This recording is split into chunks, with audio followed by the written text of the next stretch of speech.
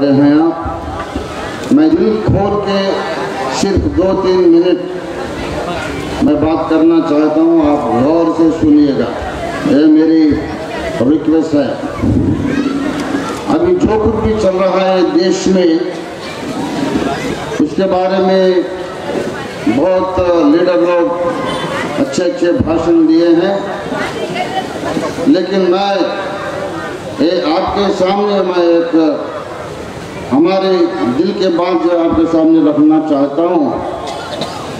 ये पूरे बातों, प्रधानमंत्री, माननीय प्रधानमंत्री नरेंद्र मोदी जी और अमित शाह जी जानते हैं। ये हकीकत है कि देश के अंदर 40 परसेंट से ज़्यादा लोगों को बर्थ सर्टिफिकेट नहीं है, ना मोदी जी के बर्थ सर्टिफिकेट हैं न के साहब के हैं। न वो लाखों लोग, नाग बाबा, नाग साधु जी, नंगे साधु लोग, सब लोगों को किसी का भी बर्थ सर्टिफिकेट नहीं है। फिर भी उन लोगों को मदद देते हैं प्रधानमंत्री जी। ये बात बहुत अच्छी तरह से वो लोग जानते हैं। लेकिन मैं ये आपके सामने ऐलान करना चाहता हूँ। अब इस वक्त हिंदुस्तान हमारा प्यारा देश एक बहुत बड़ा खतरे में आ गई है। सही में एक बहुत बड़ी साजिश हो रहा है। ये साजिश अमित शाह साहब की साजिश नहीं है, मोदी जी के साजिश नहीं है, ये संघ परिवार की साजिश है। अमित शाह साहब, एक अच्छे आदमी हैं। नरेंद्र मोदी जी एक बहुत अच्छे, भले आदमी हैं, लेकिन उन दोनों के पीछे एक बहुत बड़ा भूत है, एक शैतानी ताकत है। उसका नाम है संघ परिवार और आरएसएस। ये अमित शाह साहब और नरेंद्र मोदी साहब तो केवल निमित्त है उनके हाथ में गुड़िया है। ये दोनों गुड़िया को आरएसएस खेलाते खेलवाते हैं। ये लोग जो अच्छा काम करना भी चाहते हैं, कोशिश भी करते हैं, आरएसएस और संघ परिवार इन लोगों को अच्छे काम करने नहीं देगी। ये संघ परिवार का और आरएसएस का बहुत बड़ा खाब है। बहुत बड़ी एक दिल की उनकी एक डिज़ायर है। ये उनके दिल की कामना है कि ये हिंदुस्तान को हिंदू राष्ट्र बना देंगे। ये उनका ख्वाब है, उनका उद्देश्य मकसद है। एक पुरानी हिंदी फ़िल्म गाना है मोहम्मद रफी साहब की। सौ साल पहले मुझे तुमसे प्यार था।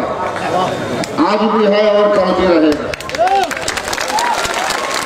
लेकिन ये असली बात ये सुनिए ये संघ परिवार को, आरएसएस को सामाजिक न्याय से नफरत है सौ साल पहले।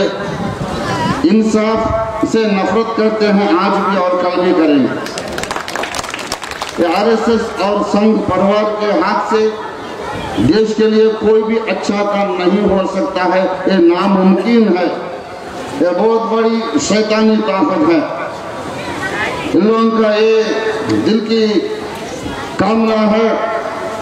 डिज़ायर है उनकी वांछा उनकी आशा है, है उनकी उनकी जो कुछ भी उनकी योजनाएँ हैं कि पूरा हिंदुस्तान को एक हिंदू राष्ट्र बनाए जैसा कि वो लोग नेपाल में कर लिए हैं।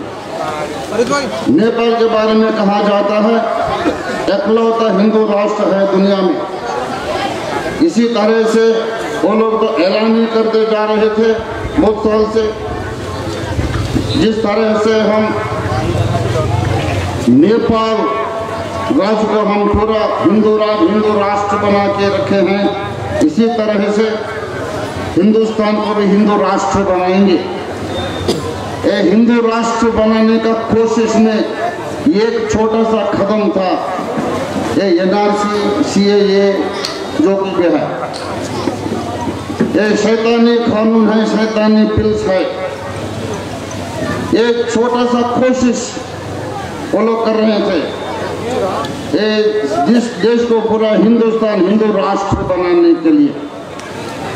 मोदी साहब को मालूम है, अमित शाह साहब को मालूम है कि देश के अंदर आधा से आधा लोगों को 40 परसेंट, पैंतालीस परसेंट लोगों को उनके खुद के बर्थ सर्टिफिकेट में है।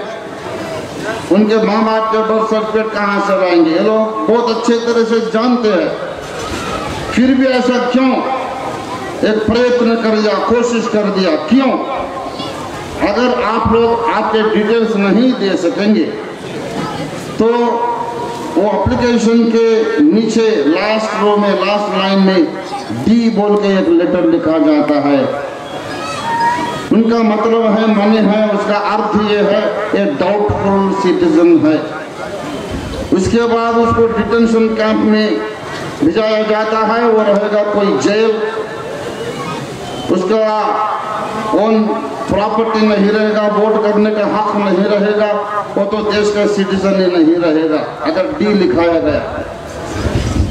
आज का दिन अमित शाह साहब, गुलाम नबी आज़ाद साहब को वायदा किया है पार्लियामेंट में। किसी को भी डी लिखाया नहीं जाएगा डी नहीं लगता किसी को भी। आप लोगों को डरने का कोई ज़रूरत नहीं है। ये तो अमित शाह साहब का कहना है वायदा है। गुलाम नबी आज़ाद साहब से बोल रहे थे पार्लियामेंट में। ये तो मैं जानता हूँ। एक बात मैं कहना चाहता हूँ भाई और बहनों इतनी आसानी से वो लोग अपने कदम को पीछे क्यों ले, लिए हैं? वो लोग एन एनआरसी सीएए बिल लगा के एक्ट बना के देश में पूरा सेंसस लेके जनसंख्या कितना है वो गिनने का कोशिश करके कौन ईसाई है, कौन सिख है, कौन मुसलमान है, कौन हिंदू है, किसका मज़हब, धर्म क्या है, इसका डिटेल्स लेने का कोशिश करें। अगर किसी का डिटेल्स नहीं है बर्थ सर्टिफिकेट नहीं है तो उनको डी लिखेंगे। मैं आखिरी बात ये बोल रहा हूँ वो लोगों को बहुत अच्छी तरह से मालूम है। अगर ये बिल वो लोग वापस भी ले लिए, फिर भी देश खतरे में है।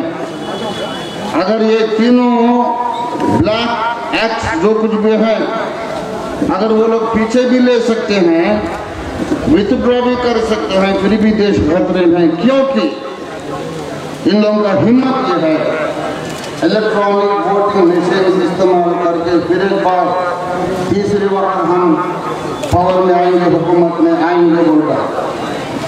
एक्चुअली हमारा हमारा जंग ये रहना चाहिए इलेक्ट्रॉनिक वोटिंग मशीन को वापस ले लेना है। पेपर बैलेट हमें होना चाहिए। चुनाव हुआ वो फेक इलेक्शन नहीं है। लोगों के चुनाव नहीं है वो लोग।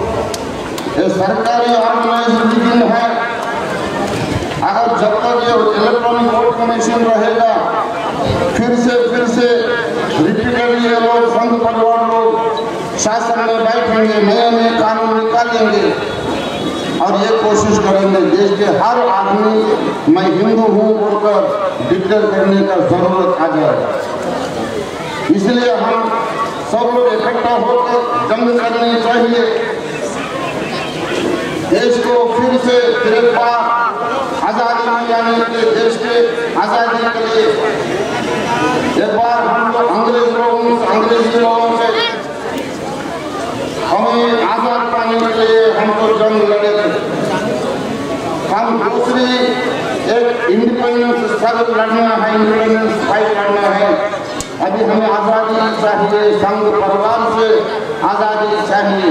इसके लिए तो देश के पूरे माइनॉरिटी लोग इकट्ठा होकर आने वाले चुनाव में ऐसा एक काम करना, लड़ना है, जंग करना है, ताकि आर एस एस लोग और कभी भी इस देश को शासन करने का हुकूमत करने का मौका हम नहीं देंगे।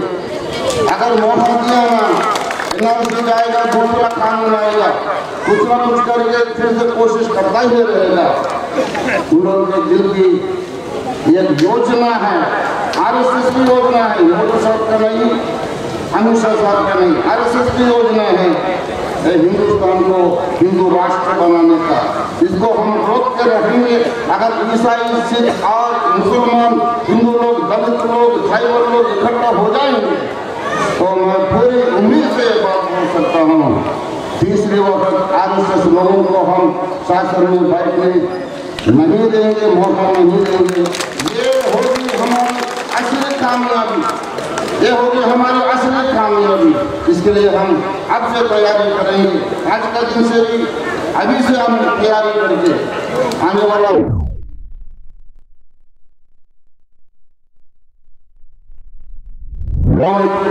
फोर्टीन में टू थाउज़ेंड ट्वेंटी फोर में टू थाउज़ेंड ट्वेंटी फोर चुनाव होने वाला है उसमें देश के सारे महिलाओं के लोग इकट्ठा होकर लड़ेंगे और हम लोग पार्लियामेंट में एंट्री करेंगे। पार्लियामेंट में